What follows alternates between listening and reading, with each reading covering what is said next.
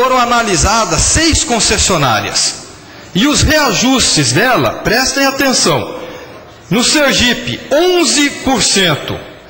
No Acre, 11,72%.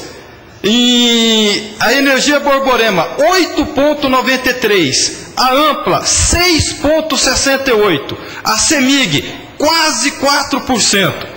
E Mato Grosso do Sul, 2,4% aos consumidores cativos. Estabilizamos. A partir de agora, o que vai ser esse grupo rede aqui? Desviaram 600 milhões do Pará. E aqui, eles estão tendo lucro. Um lucro de 151 milhões e um faturamento de quase 2 bi. Só no último ano. E não pagaram, não pagaram a energia que eles compraram de 50 milhões. Cobraram da gente, nós pagamos a Enersul e a Enersul não pagou, não pagou a Eletrobras. Aqui começa a dar sinais de que se nós não intervirmos junto com o Estado, em breve, quem vai pedir a recuperação judicial vai ser a Enersul no estado de Mato Grosso do Sul. Por quê? Porque é muito notório e as tintas cada vez mais são fortes, as digitais são todas elas visíveis. O desvio da implementação e do serviço de qualidade é gritante. Ora, como é que a Enersul, neste último ano, ela demitiu quase mil funcionários, se ela teve lucro? Se é uma empresa que cresce e arrecada, a tendência não é contratar mais para atender os números dos consumidores? Mas não, demitiram quase mil de serviços terceirizados. É por isso, senhor presidente, que a minha preocupação hoje, e eu chamo a atenção desta casa e do governo do Estado. Primeira coisa, eu estou entrando com requerimento para que imediatamente a Agência Nacional de Energia Elétrica, o diretor, que eu conversei ontem com ele, José Abner Moreira, que seja enviado para Mato Grosso do Sul uma comissão com o objetivo de investigar e intervir, analisar todo o sistema financeiro da empresa Enersul. Todo o sistema financeiro. Estão desviando dinheiro nosso aqui para salvar a Celpa e para pagar as contas da Semate. E digo mais, em breve os senhores vão ouvir que a Semate também vai entrar em recuperação judicial. Porque não pode, aqui está o ofício da ANEL. Como o grupo Rede cobra da gente, a gente paga e eles não pagam a Eletrobras. Não pagaram. E vamos imaginar que a Eletrobras agora não venda mais energia para eles. Como nós vamos ficar aqui se a nossa conta está paga? Por isso, eu estou pedindo à Agência Nacional de Energia Elétrica que os seus cinco diretores, em fato inédito histórico, porque Mato Grosso do Sul tem sido exemplo nisso daqui, venha e comece a intervir junto ao Grupo Rede no setor econômico, financeiro da empresa Enersul. Em contrapartida, eu também estou solicitando em requerimento à parte, porque ontem o diretor da Enersul disse que aplicou mais de 340 milhões no nosso estado só no último ano. Eu estou pedindo à ANEL que essa mesma comissão venha ao nosso estado e determina e esclareça aonde estão os 340 milhões na expansão do atendimento e na qualidade do serviço prestado.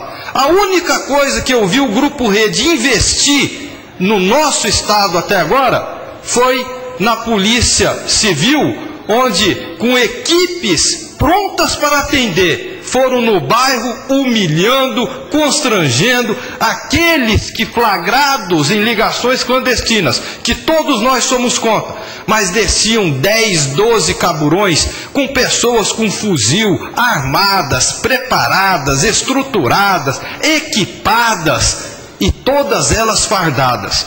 Foi o único investimento que eu vi da Enersul até agora aqui no estado de Mato Grosso do Sul. Por isso, senhor presidente, essa comissão da ANEL, onde nós tivemos ontem representando esta casa, vai vir para Mato Grosso do Sul. Entrar. Primeiro, cadê os 50 milhões que nós pagamos e eles não pagaram a Eletrobras? Cadê esses 50 milhões? Foram desviados para onde?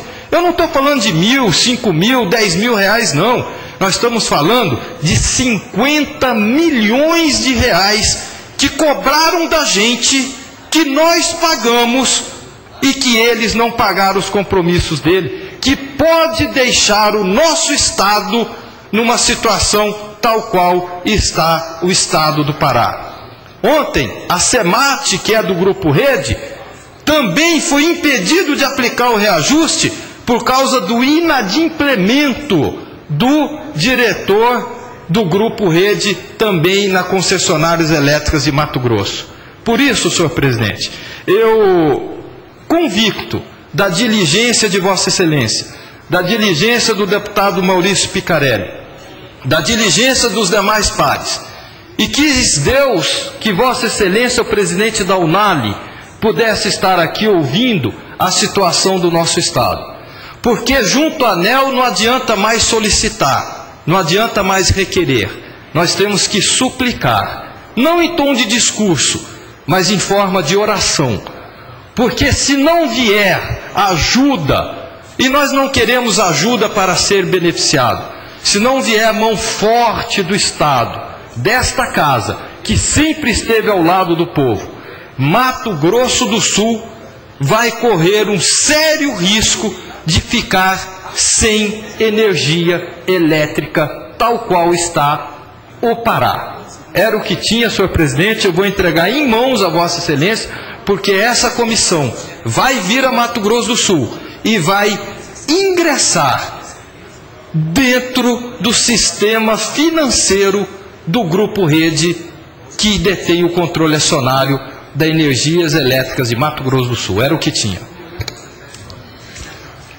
Se me permitir, deputado Marquinhos Trade, em colaborar com o trabalho de Vossa Excelência, que o requerimento, em sua autoria, seja transformado em um requerimento desta Casa e que será enviado naturalmente à direção da ANEL e não tendo resposta com brevidade, esta presidência assume o compromisso com os demais pares de Vossa Excelência que estaremos nos dirigindo a Brasília junto à ANEL para protocolar junto à direção, novamente o requerimento solicitando a presença desta comissão dentro do Estado.